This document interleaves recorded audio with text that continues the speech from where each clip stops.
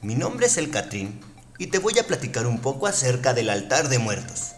El 2 de noviembre la gente acude a los panteones para adornar las tumbas de sus seres queridos y comer con ellos. Algunos más aprovechan para construir altares y a través de imágenes, objetos, olores y sabores nos dan una idea de cómo fue y lo que le gustaba a la persona en vida. La elaboración de un altar puede ser muy variado, cada quien tiene su forma de hacerlo, y esto depende mucho de la imaginación de cada quien.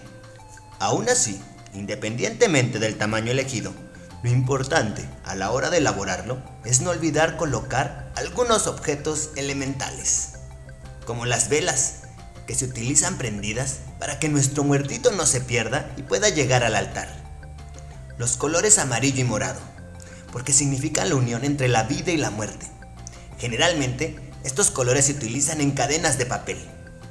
La flor de cempasúchil es una flor amarilla que se utiliza para darle bienvenida al difunto. El papel picado representa la alegría de vivir y se cree que a través de ellos pasan las almas de la gente que ya no tiene vida. En cada región del país, la gente elabora sus altares de diferentes maneras. Hay unos pequeñitos y hay algunos con muchos pisos de altura.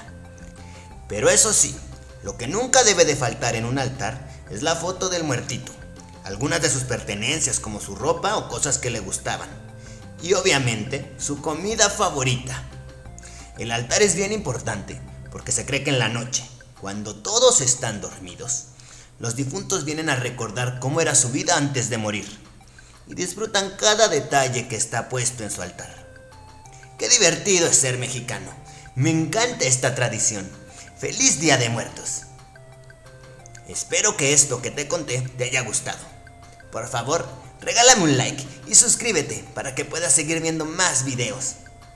Nos vemos la próxima. Hasta luego.